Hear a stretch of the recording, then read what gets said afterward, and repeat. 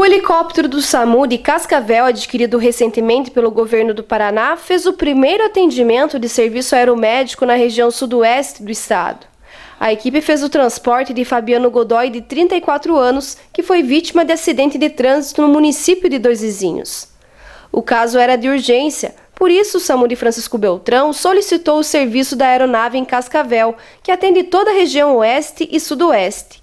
Ele foi socorrido pelo SAMU e encaminhado até o aeroporto de Francisco Beltrão, colocado no helicóptero e transportado até Cascavel. O transporte, que por terra levaria mais de três horas, foi feito em 35 minutos. A equipe da aeronave é formada por um médico, uma enfermeira e um piloto.